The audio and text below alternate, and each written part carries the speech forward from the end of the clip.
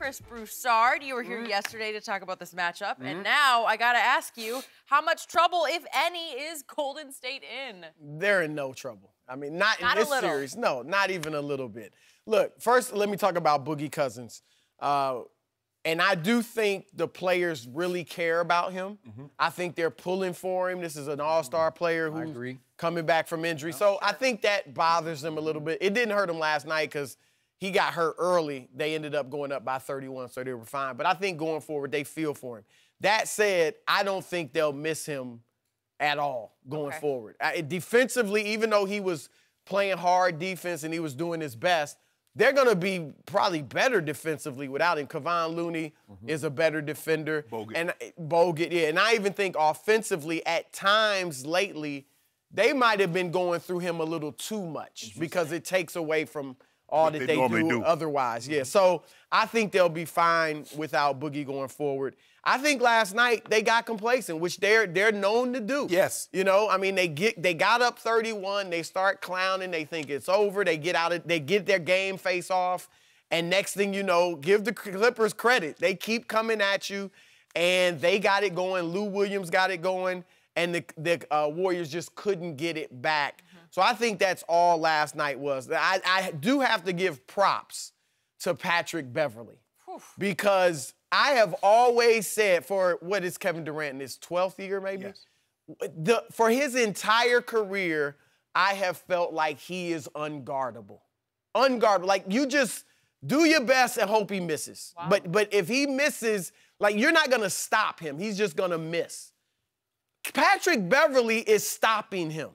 He is locking him up. He he's holding him. He's he's only taking 12 shots a game in these first two games. Obviously, he got him ejected. He I didn't think he was in the Durant's head. Durant was kind of smiling and clapping when he got ejected, but he look, when you have a small guy who can get up in your legs and get up underneath you.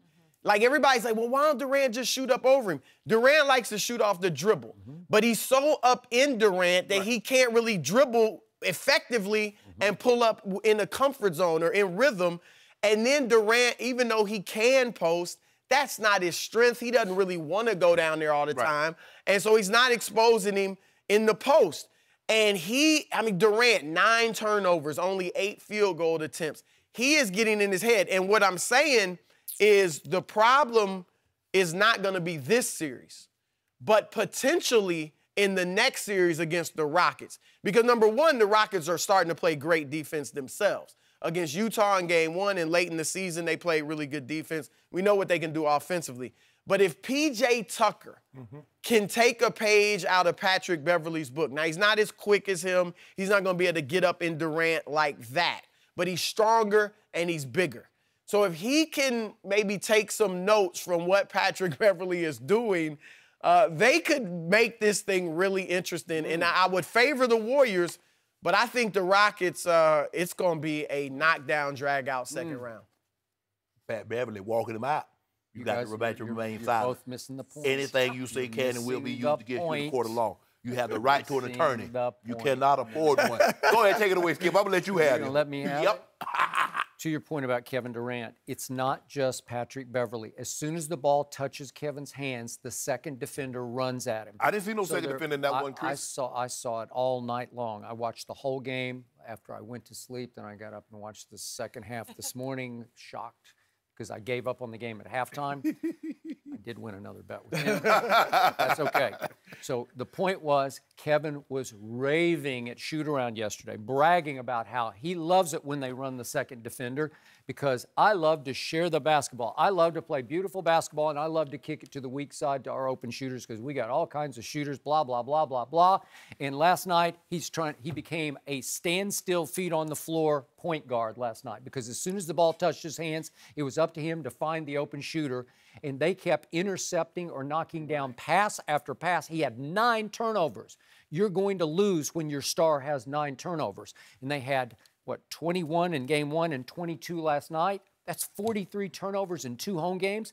That is wrong. Well, they're careless with the ball. Okay. They've always they've been careless. always- You remember that's- Game that's their- Seven? Well, this That's year, the in- NBA Finals, dur- how during the year this year, they tied for 21st in turnovers. So there you They're go. normally good with. Now, what have I told you all year long? Bad sign, bad sign, bad sign.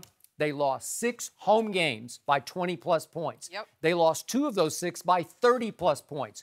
That is just wrong. You can't tell me that's championship medal. There, there's something f- deep flawed in this team's psyche right now where we saw a microcosm of that because they get up by 31 points with seven minutes left in the third quarter. Mm-hmm. They get outscored all the way home 72 to 37 on your home court. I'm, it's a flaw. It, it's a huge blinking red bad sign Yep. that something's wrong at the at the core of this basketball team. Mm-hmm. It was up to Kevin and then your two-time MVP Steph Curry to say no because you're right. They took their game face off. And Steph, I I love Steph Curry, but he just hot dogs all night long, and he's beating his chest. And what was he yelling? The, I'm a bad boy. I'm a bad boy. and he's playing with his mouth guard, and he's just, it's right, just- right, after a while, I just Yep. say, stop it, just play. and last night, when it was time to play, and I've said this repeatedly about him, he comes up small a lot in big clutch situations. And that was a time when they needed to slam the door, and in the fourth quarter, he shot two for nine. And he got his open look. He got Montrezl Harrell uh, switched on him, and he, he pump fakes him, and he gets a wide open look to win the basketball game, and he missed it. And he misses wasn't a lot really of those. wide open. No, but Harrell got his Right. hand up. But but again, it, for him, the shots he makes, He ha- come on. He I hit mean, the I mean, big one earlier, right. right before that. seconds, right, but that right. ain't this one. Th- This is for all the marbles, and this is for this series. You're going to slam the door shut. Excuse me.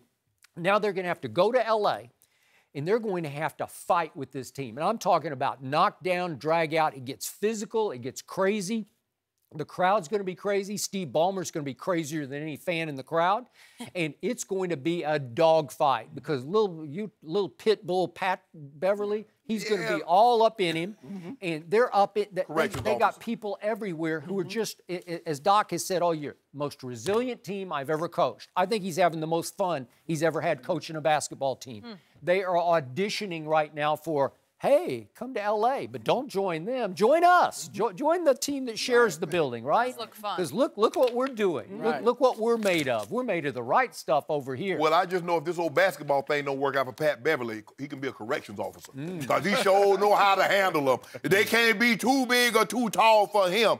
Six foot one, the best player in the NBA.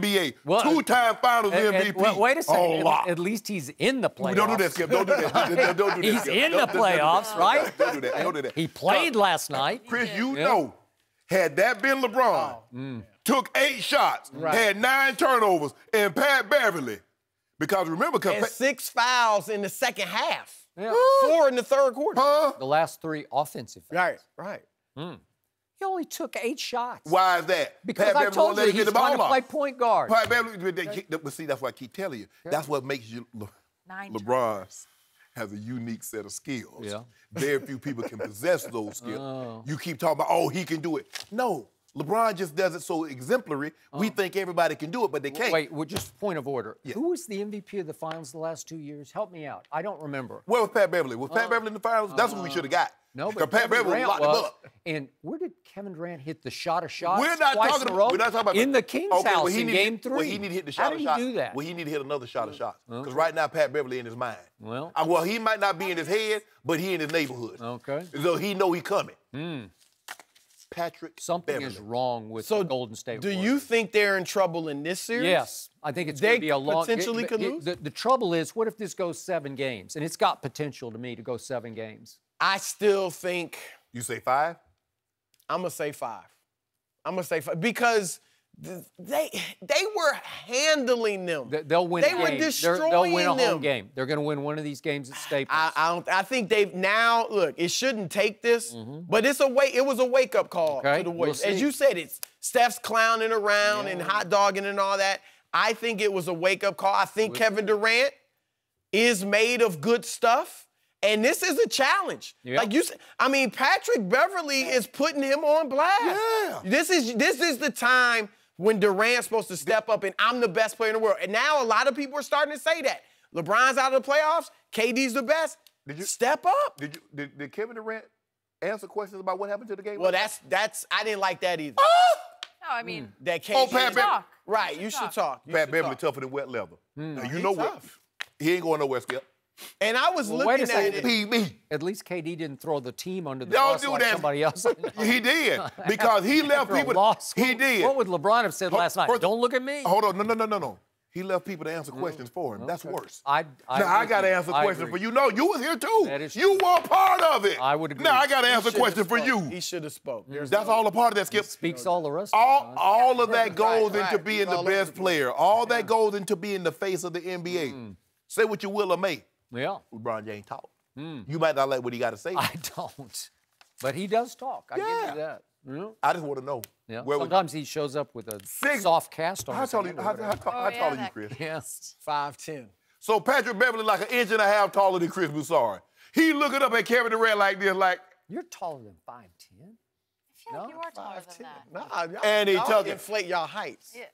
Oh, I'm 6'2". But it's great to, it's refreshing to see the matchup and that he's able to do it. I love old Pat. He's That's my new favorite. I need to get me a Clipper So jersey. hard. Hey, Pat Beverley, send me a jersey. Mm. I wear it right here on Undisputed. Mm. Because I'm tough like Pat Beverley. You big fan Yeah, over but- Well, here. Pat Beverley tough like me. I'm, a, But you know I'm a little what? older than he is. you are no longer big play Shai because he plays for the Clippers. No. Big play Shai, Gilgis Alexander. I Alexander. like Shamet. Hey, Nice little rookie. he's a Yep. nice little long rookie who had four big Landry steals last Shamet. night. Guess who picked him? Jerry West picked him. He strikes again. Jerry Landry West. Shamet shot that thing. He said, I knew it was good when it left. Shocker. thing was He's a shocker. Shamet the Seven. shocker. You're saying seven. Hmm? I I got. think it's five, got still got potential five. for seven. I think these are going to be two great battles. Pat Beverley need to get me one of them jerseys. Yeah. I'm repping Pep. Pat. And you're- I don't mess with the Clippers, but I rep You're him. gonna wear a, a Clippers? Oh, I thought you meant a 35 over jersey. Lakers? No, it's on- 35 jersey for what? Beverley ain't 35. No, you knew who is the best player on the planet. I mean, if he come join, if he come link up, you know, Okay. we'll be all right. Yeah.